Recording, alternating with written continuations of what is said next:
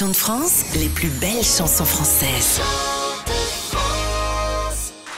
Interview Chant de France Benabar jusqu'à 20h depuis les bateaux mouches. Euh, J'ai appris que tu avais été photographe sur des bateaux mouches, euh, Bruno.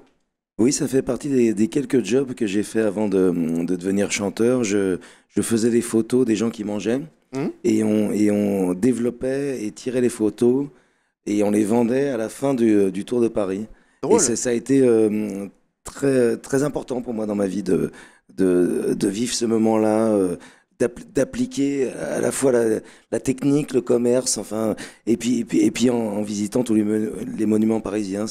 J'en garde un souvenir assez, euh, assez troublé d'ailleurs. C'est c'est un peu vaporeux pour moi. Je, je me fait, souviens t'as fait pas ça trop. longtemps? Euh, non, j'ai fait ça une saison, Une une, saison, saison, pas ouais. longtemps, mais ça, ça, ça m'a vraiment appris beaucoup de choses, notamment l'exigence, la rapidité, Ouais. et puis, et puis faire en sorte que si tu, euh, tu vends pas de photos au final, bah, bah, tu, euh, tu gagnes rien, quoi. Donc il y avait ce, ce, ce, ce rapport à la, à, à la demande qui, est, qui, qui me travaille un petit peu encore aujourd'hui.